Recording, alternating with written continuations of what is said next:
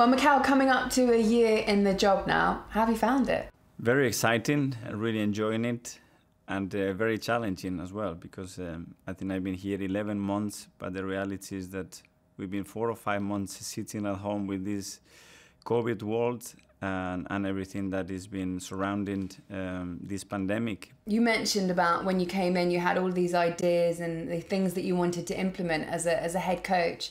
How difficult have you found it to get those ideas over the line? Some more than others. Um, some they were um, pretty quickly. Some were related to certain attitudes, uh, behaviors, and, and things that I expect them um, as a group of how we live together and the standards that we had to set in. Um, playing wise, um, a lot of principles and how they apply them.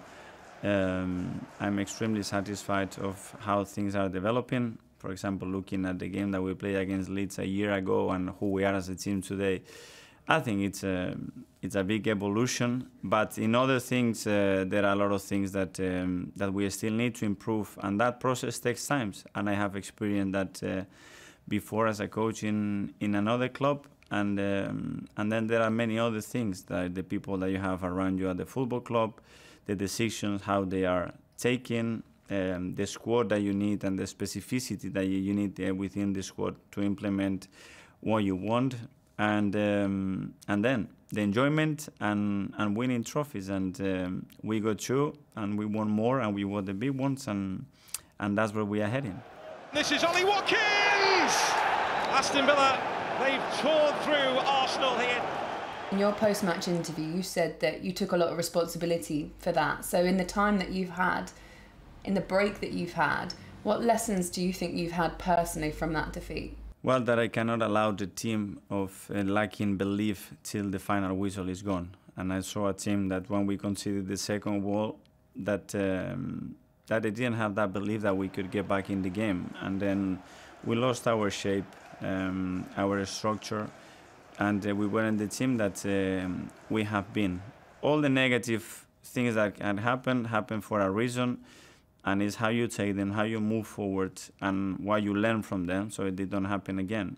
Is inconsistency a problem for Arsenal? Absolutely. That's the reason why the last few years um, Arsenal finished 30, 45 points behind the, the top team. if you don't have that inconsistency, you don't finish there. So that's a big gap to change in a very short period of time, and that's a a massive challenge uh, because there are a lot of things that have to be changed to close that gap. It's not one or two. There are many, many ingredients there. And this road is going to be bumpy. And with the competition we have in this league, is going to happen. If everybody think or thought that that was going to be a trend like this, is completely wrong. There's been an emphasis around Arsenal recently on a lack of creativity and perhaps also um, questions put to you about whether or not we might see Aubameyang being used more centrally. What is your response to that? Well, that it's a collective thing. Like creativity is a collective thing. It's how you progress the ball into the final set, and then what happens into that, which is the most difficult thing in football, because there are less spaces, more opponents, and the decision have to be quicker and more precise. The lack of goals when you play with four almost strikers. Um, it has to be a collective thing, and we cannot just put responsibility on Oba that is not scoring uh, as he used to, or somebody else. And and again, me first to try to produce more situation, and then when we produce them, yeah, it's being clinical. Is there still a way for Mesut Ozil back into this team, perhaps in January when you can reshuffle your side?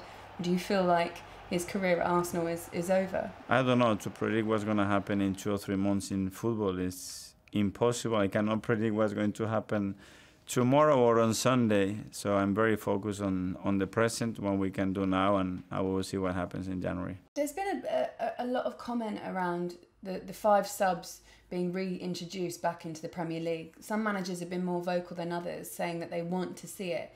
Where do you stand? Would you like to see that happen? I'm all for it. I think we can uh, create some room and flexibility on our players. Um, with the load that we are demanding, um, I think we have to do it. Uh, there is no precedent in any league uh, in history where players have to play the amount of games in this calendar year.